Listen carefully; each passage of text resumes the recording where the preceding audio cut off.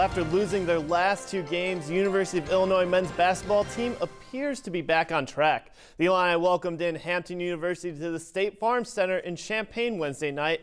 U of I scored early and fast. They finished the half with a 12-point lead as Illinois cruised to a 73-55 victory.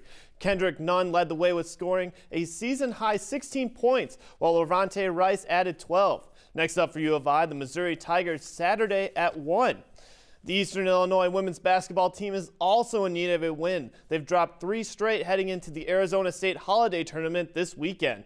First matchup for the Lady Panthers will be a tough one as they hope to accomplish accomplish something they haven't done in school history beat Northwestern. EIU is 0-10 all time against the Wildcats, and this year isn't going to be any easier, with Northwestern sitting at 9-0 on the season, and Saturday's game starts at 4.30.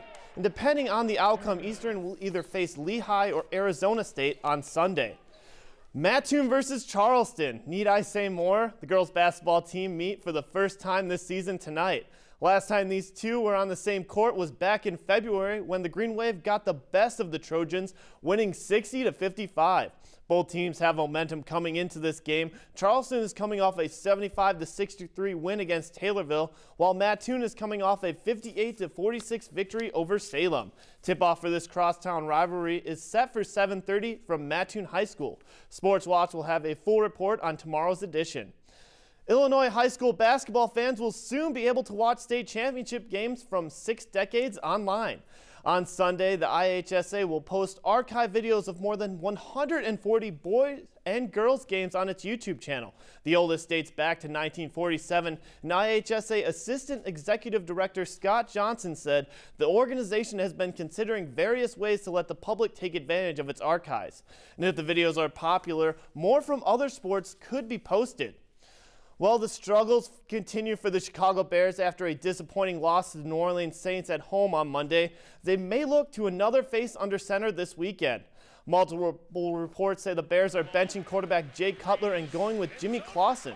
The Bears will not confirm the move, but head coach Marc Trestman said earlier today he wasn't getting the most out of Cutler, but he didn't mention benching the quarterback. Next game for the Bears is Sunday at noon against the Detroit Lions.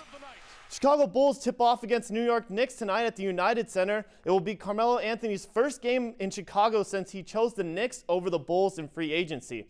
The Knicks are off to its worst start in franchise history at 5 and 22. Savannah, Braden, back to you.